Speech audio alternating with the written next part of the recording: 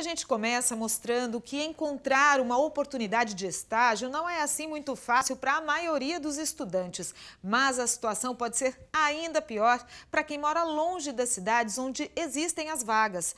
Um problema comum aqui na região, onde muitos estudantes moram em pequenos municípios e viajam quilômetros para cursar a faculdade. Júlio cursa Engenharia Civil em Araçatuba. Ele mora em Guararapes e tentou por diversas vezes uma vaga de estágio na cidade onde estuda, mas não conseguiu. O jeito foi desistir do estágio e arrumar um emprego em outra área. É, eu trabalho agora na área no cartório, né, para eu poder pagar a minha faculdade, no caso. A maioria das empresas não admite que exista qualquer barreira na hora de contratar um estagiário de outra cidade. Mas, na prática, quem mora fora acaba tendo mais dificuldades para conseguir uma vaga.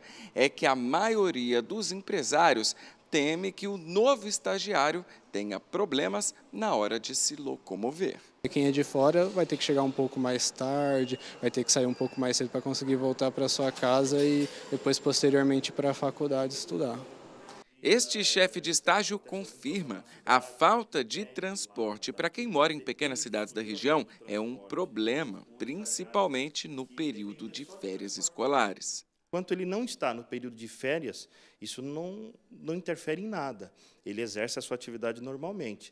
Mas a partir do momento que ele entra no período de férias e a cidade de origem dele acaba deixando de oferecer no período né, esse transporte, aí acaba influenciando na presença dele durante o estágio. Mas quem quer mesmo abraçar a profissão desde a faculdade acaba dando um jeitinho.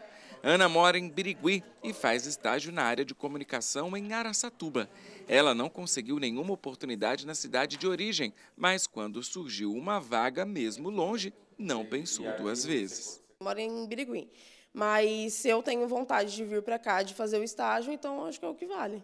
Para a Daniela, que é especialista em programas de estágio, bons empregadores se preocupam apenas se o estagiário está atento às responsabilidades e cumprindo as funções. Isso tudo independentemente da cidade onde mora. O que está em evidência hoje em necessidade é o candidato que atende necessidade da empresa.